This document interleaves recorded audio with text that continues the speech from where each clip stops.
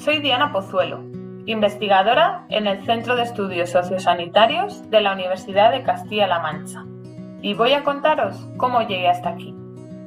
Nací aquí, en Cuenca, y me crié en el barrio de Villarromán, un barrio de gente humilde en el que nos juntábamos muchísimos niños y niñas a jugar al fútbol, al pillao y a celebrar las hogueras de mayo, entre otras muchas cosas.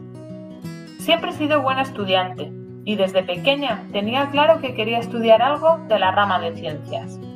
Me gustaba mucho la genética y la medicina, pero eran carreras muy largas y mi objetivo era estudiar una carrera con buenas salidas profesionales para poder encontrar trabajo pronto. Así fue como decidí estudiar fisioterapia, pero para ello me tuve que ir a vivir tres años a Toledo. Cuando terminé la carrera, decidí volver a Cuenca a buscar trabajo, cerca de mi familia y mis amigos. Enseguida encontré trabajo en una clínica privada, donde estuve trabajando durante cinco años, hasta que la crisis económica del 2010 hizo que las condiciones laborales empeoraran. Esa crisis fue para mí la gran oportunidad para dejar ese trabajo y comenzar a estudiar enfermería, una profesión que siempre había llamado mi atención y que podía estudiar sin necesidad de mudarme de mi ciudad, así que me matriculé sin pensarlo mucho. Durante los cuatro años que estudié enfermería, fui compaginando los estudios con diversos trabajos, hasta que en el último año de carrera solicité una beca de investigación en la misma Facultad de Enfermería, lo que me permitía estudiar y a la vez ganar algo de dinero. Esta beca hizo que conociera el mundo de la investigación, desconocido hasta el momento para mí. Así fue como al acabar enfermería decidí continuar formándome en esta función tan importante y a la vez tan desconocida de la enfermera.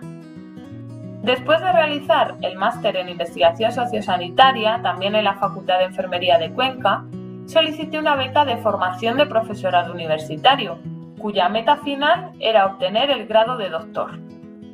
Para ello realicé mi tesis doctoral sobre los resultados del proyecto MOVI, el cual consiste en la realización de una intervención de actividad física para la mejora de la forma física de los niños y a la vez prevenir la obesidad infantil. Pero en estos años no todo fue estudiar. Durante los tres años que duró el doctorado, me casé y tuve a mis dos hijas, Valeria y Daniela. Actualmente trabajo como profesora de anatomía en la Facultad de Fisioterapia y Enfermería de Toledo además de compaginarlo con las labores de investigación que requiere un docente universitario. En la actualidad tengo publicados más de 50 artículos científicos con más de 250 referencias a nivel internacional y con un índice H de 9. Esta doble función del docente universitario hace que pueda disfrutar doblemente de mi trabajo, enseñando anatomía e investigando en salud.